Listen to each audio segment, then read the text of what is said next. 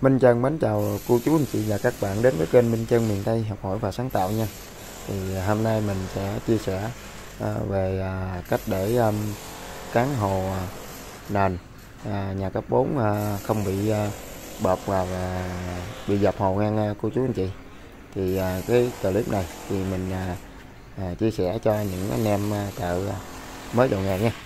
Thì những anh em thợ mới vào nghề cũng chưa biết cái cách để mà à, cán à, hồ sáp để lót nền như thế nào cho hiệu quả? Thì hôm nay mình sẽ chia sẻ cái clip này để à, hướng dẫn cho những anh em mà à, tay nghề còn yếu nha. Còn những anh em mà à, tay nghề cao hơn thì à, xem video ủng hộ mình nha. Và có ý kiến gì thì à, bình luận bên dưới cho mình biết để học hỏi thêm kinh nghiệm nha. Thì à, cái vừa clip này thì mình sẽ à, chia sẻ cho những anh em à, mới vào nghề thôi nha. thì à, đầu tiên mình sẽ à, vệ sinh bề mặt à, nền. Thì do cái mặt nền này cũ thì mình à, sẽ xử lý theo nền cũ nha cô chú anh chị. Cái nền cũ này nó, nó chiều cao nó độ dày từ dưới lên tới lấy mặt bằng là khoảng à, 3 phân. Thì mình sẽ chọn qua một à, lớp hồ khô mình trải qua một lớp hồ khô. Thì cái hồ khô này thì tỷ lệ theo 8 sù cát một bao xi măng à, do cái nền nó cũng à, cạn á thấp nên mình à, trồng hồ à, tỷ lệ như vậy. Còn những mà cái nền mà khoảng chừng ba bốn phân trở lên thì mình sẽ à, chọn là khoảng 10 10 số cát cho một bao xi măng nha. Thì xi măng hoa sim hay là xi măng hà tiên cũng vậy. Thì um, sau khi mình trải một uh, cái lớp hồ uh, khô đầu tiên thì ờ, mình trải ra một lớp cho nó nó nó, nó giáp hết. Rồi sau đó mình sẽ tí nước lên nha cô chú anh chị và các bạn.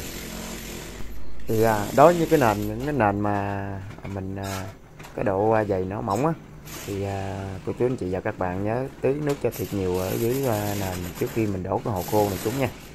Thì cho nó nó nó rút à, nước lên cái hồ của mình. À, sau đó là nó mình tưới một cái lớp thứ hai thì nó nó sẽ à, à, bấm vào cái à, cái cái cái à, nền à, cũ của mình nha. À, cô chú anh chị và các bạn à, xem video của mình thì à, cũng thông cảm cho mình những cái, cái lúc mà mình à, không có nói chuyện á thì à, mình sẽ tua nhanh một chút để cho cô chú anh chị và các bạn xem cho nó à, tránh mất thời gian nha.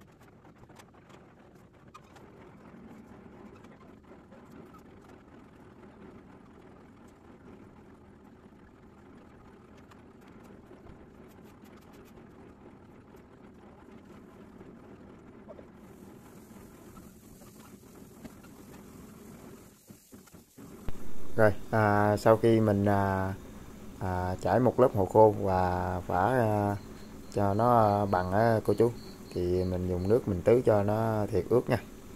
À, qua một cái lớp đầu tiên để cho hồ nó chảy xuống à, à, những cái kẻ mà nó nền mình nó bị à, trống á nền cũ nó bị trống nên mình tưới cho một nước cho nó cho nó ướt đều.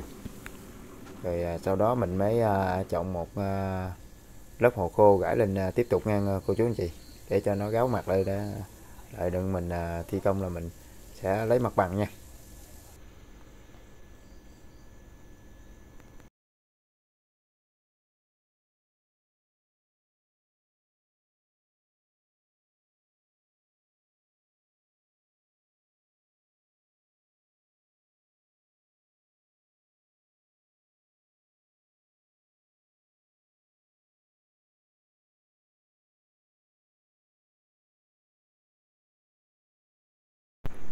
Rồi, sau khi à, mình đã tiến nước nước đều qua thì à, mình à, coi cái à, cái hồ nó có nước có tới dưới à, à, chân trường nha à, cô chú.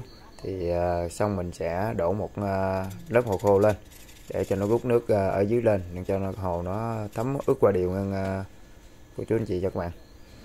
Thì à, mình à, mình sẽ à, ban cho nó thật đều qua một à, lớp rồi sau đó mình lấy mặt bằng à, lại là mình gạt hồ nha à, cô chú.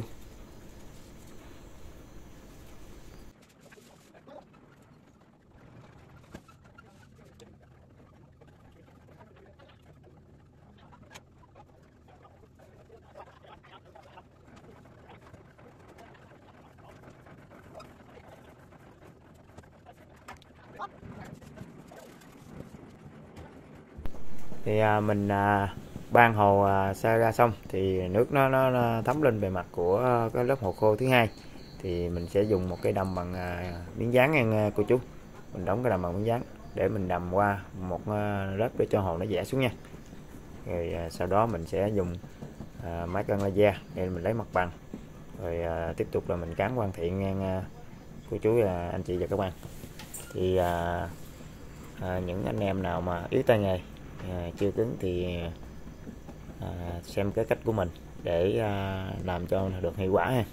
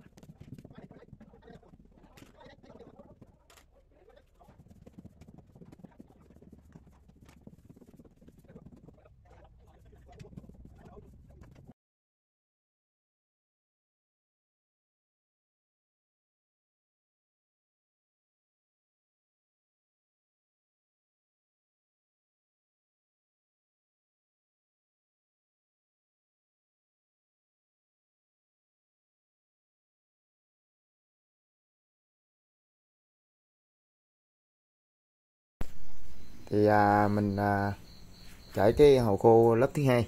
Thì à, nước đã thấm lên đều. Thì mình sẽ lông theo cái à, à, dùng thước để dài để lông theo à, cái mà cuộc ghém lấy mặt bằng của mình đó thì à, nó à, mình gạt hồ rất là à, nhẹ và xốp và gì nhẹ để mà gạt hồ ngang cô chú. Nó không bị gít nha. Thì à, cái này mình sẽ gạt lấy ha, là hai quận ngang cô chú. Nhà anh chị thì à, cái này là mình gạt à, hai hai lần nó mới lấy phản lực nha. Thì cái lớp đầu tiên cái nước đầu tiên á, thì hồ mình nó, nó mình trừ hao lên cho nó hơi dày chút chút xíu. Rồi sau đó mình sẽ gạt một lớp đầu tiên. Rồi à, mình vả thêm một lần thứ hai nữa là nó hoàn thiện cái cái nền mình để lấy mặt bằng. Ấp đừng lát gạch cho nó chuẩn nha cô chú anh chị và các bạn.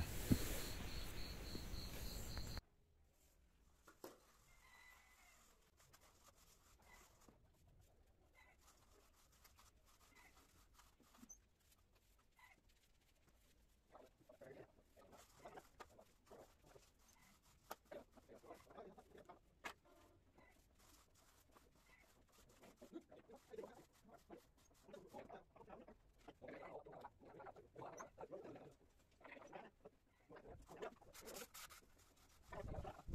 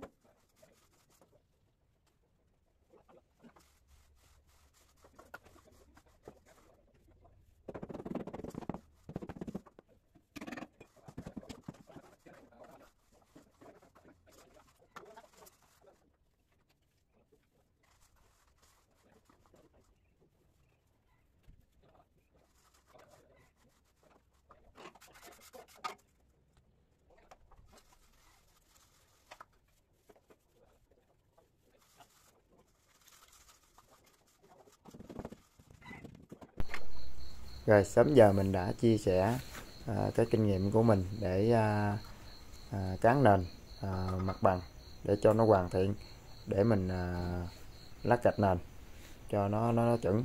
Thì à, mình cũng mời cô chú anh chị và các bạn xem lại cái mặt bằng.